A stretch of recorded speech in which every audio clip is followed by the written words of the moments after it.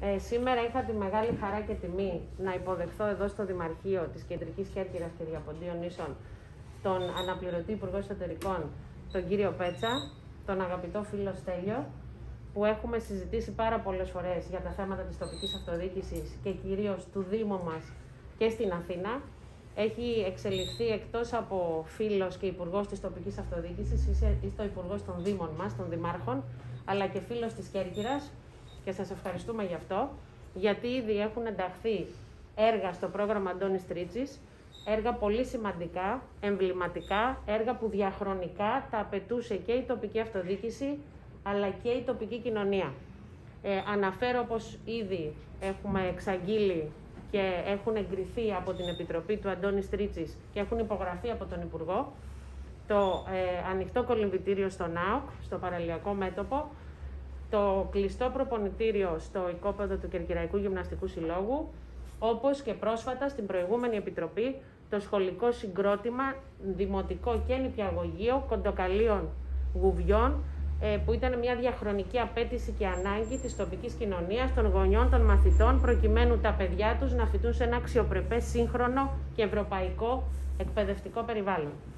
Ε, θα, όπως θα σας πει ο Υπουργός, Έχουμε και σήμερα πολύ καλές ειδήσεις να εξαγγείλει για έργα που θα ενταχθούν στον Αντώνης Στρίτσης από εδώ και πέρα, αλλά και σε πρόγραμμα ε, χρηματοδότησης του ίδιου του Υπουργείου του.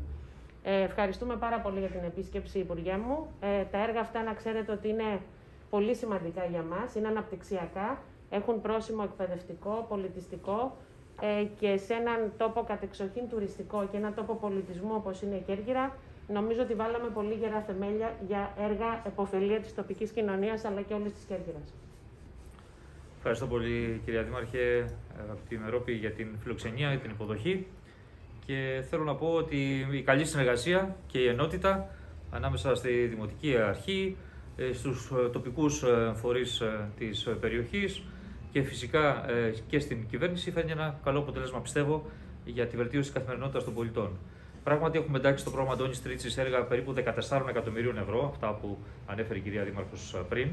Αλλά αυτά είναι έργα τα οποία αποτελούν την αρχή και θα συνεχιστούν με ε, έργα όπως ο βιολογικός καθαρισμός του Αχιλιού, ένα μεγάλο έργο με πάνω από 6,7 εκατομμύρια ευρώ, αν θυμάμαι καλά, το οποίο εντάσσεται μέσα σε ένα ευρύτερο σχεδιασμό αναβάθμισης αυτών των υποδομών ολόκληρου του νησιού ύψου 19 εκατομμυρίων ευρώ, αν σκεφτεί κανείς και τους άλλους δύο ε, Δήμους. Και με χαρά θα το δούμε και αυτό να εντάσσεται στο πρόγραμμα Αντώνης Τρίτσης πολύ σύντομα, ενώ μέσα στο Μάρτιο. Ε, πέρα από αυτό, είχαμε την ε, ευκαιρία σε προηγούμενες επισκέψεις της Δημάρχου να συζητήσουμε για το θέμα των ΕΠΑΛ. Και είμαι σε θέση σήμερα να ανακοινώσω ότι θα χρηματοδοτήσουμε την ανακατασκευή και τη συντήρηση των ΕΠΑΛ. Ε, δεν νομίζω ότι είναι μια εικόνα αυτή που θέλουμε, που υπάρχει σήμερα.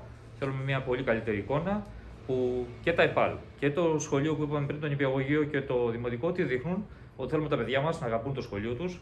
Είναι το βήμα το οποίο ενθαρρύνει την κοινωνική κινητικότητα ώστε να ξεφύγουν και να πάνε σε ένα επίπεδο περισσότερο καλύτερο από αυτό των γονιών τους και έτσι να προοδεύει η κοινωνία μας όπως περνάνε ε, τα χρόνια.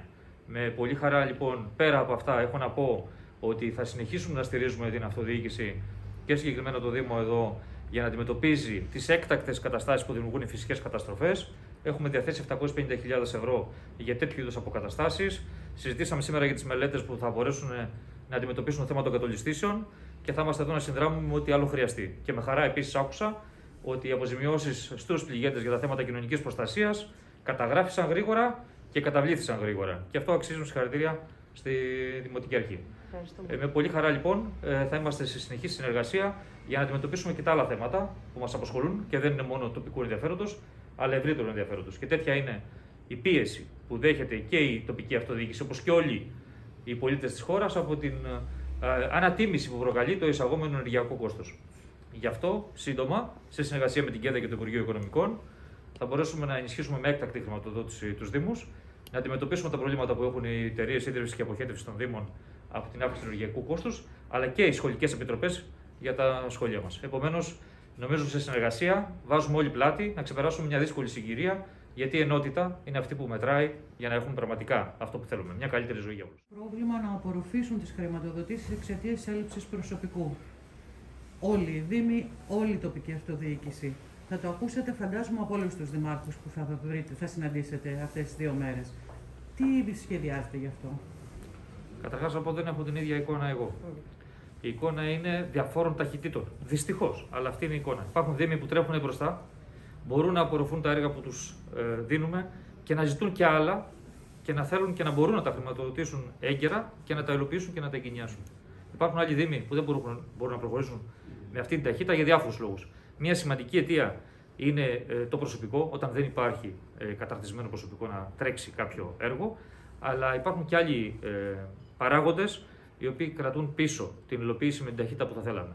Εμείς έχουμε ενεργοποιήσει διάφορα εργαλεία. Μεταξύ αυτών είναι το Μητρό των Μηχανικών στην ΕΤΑ, είναι οι προσλήψεις μηχανικών στην ΕΤΑ, είναι προσλήψεις τακτικού προσωπικού στους Δήμους. Αλλά νομίζω δεν αρκεί μόνο αυτό. Χρειάζεται να κάνουμε ένα βήμα παραπάνω και είναι ένα από τα ζητήματα που κοιτάζουμε στο Υπουργείο Εσωτερικών πώς μπορούμε να ενισχύσουμε την αυτοδιοίκηση με το προσωπικό. Γιατί μην ξεχνάτε ότι μιλάμε για ένα προσωπικό το οποίο συνταξιοδοτείται σχετικά γρήγορα, ενώ οι προσλήψεις καθυστερούν λόγω και της φυσικής αδυναμίας που έχει το ΑΣΕΠ να ικανοποιήσει όλες αυτές τις εγκρίσεις των προσλήψεων. Θυμίζω ότι μέχρι πέρσι είχαμε περίπου 21.000 εγκρίσεις ε, που εκκρεμούσαν στο ΑΣΕΠ με ένα αριθμό ικανοποίησης περίπου τις 6.000 το χρόνο. Επομένως, εμείς κάνουμε ό,τι μπορούμε να αντιμετωπίσουμε αυτό το θέμα σαν Υπουργείο Εσωτερικών. Τη μεγάλη τομή όμως πρόκειται να τη φέρει ο διαγωνισμός που προβλέπεται να γίνει το Σεπτέμβριο. Ε, μέχρι τότε θα προσπαθούμε να είμαστε δίπλα και να κάνουμε ό,τι μπορούμε ε, με οποιαδήποτε παρέμβαση χρειάζεται για το προσωπικό. Αλλά είναι ευρύτερο θέμα και κουλτούρας και όχι μόνο προσωπικού.